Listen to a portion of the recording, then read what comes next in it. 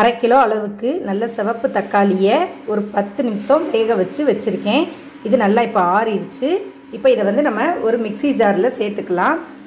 அதோட ஒரு அஞ்சு பல் பூண்டும் நம்ம சேர்க்கணுங்க. தக்காளியை இப்போ இதில் சேர்த்துடலாம். இப்போது இது கூட ஒரு நாலு காஷ்மீர் மிளகாய் அது சேர்த்துருக்கேன். ஒரு ஆறு பல் பூண்டு சேர்த்துருக்கேங்க. இப்போ இதை வந்து நம்ம நல்லா அரைச்சிட்டு வந்துடலாம்.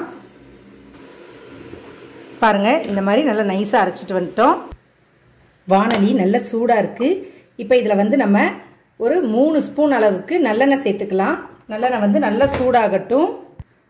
ஒரு ஸ்பூன் அளவுக்கு கடலைப்பருப்பு சேர்த்துக்கலாம். அரை ஸ்பூன் கடுகுளுந்து சேர்த்துக்கலாம்.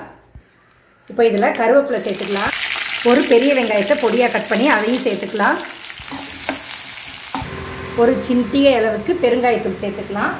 வெங்காயம் ப்ரௌன் ஆயிடுச்சு. நம்ம அரைச்சி வச்ச தக்காளி விழுதை இதில் மெதுவாக சேர்த்துடலாங்க இப்போது தேவையான அளவுக்கு உப்பு சேர்த்துக்கலாம். நல்லா கலந்துட்டு இதை நல்லா கொதிக்க வச்சிடலாங்க சிம்லையே இது கொதிக்கட்டும். பாருங்கள் நல்லா வந்து சுண்டி வரணும் இந்த அளவுக்கு. இன்னும் கொஞ்சம் எண்ணெயெலாம் பிரிஞ்சு வர்ற வரைக்கும் மட்டுமே நம்ம கிண்டுனா போதுங்க.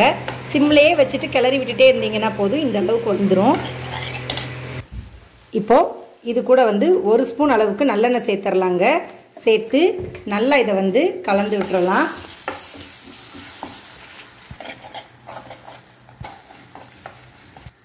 பாருங்கள் எண்ணெயெல்லாம் பிரிஞ்சு தனியாக வந்துருச்சு. நம்மளுக்கு தக்காளி தொக்கு ரெடி ஆயிடுச்சு இப்போ நம்ம இதை வேற ஒரு பாத்திரத்தில் மாற்றிட்டு இந்த சட்டியில் நான் கொஞ்சமாக சாதம் போட்டு கிளறி காட்டுறேன். எவ்வளோ எப்படி சூப்பராக இருக்குன்னு பாருங்கள்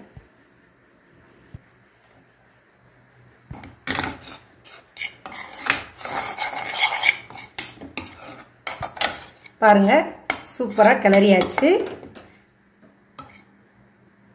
அருமையான தக்காளி பூண்டு தொக்கு ரெடி ஆயிடுச்சுங்க. இதை வந்து நீங்கள் அப்படியே சைடிஷாகவும் சாப்பிட்லாம். இந்த மாதிரி சாப்பாட்டில் போட்டு கிளறியும் சாப்பிட்லாம். நீங்களும் இதே போல் உங்கள் வீட்டில் செஞ்சு பாருங்கள்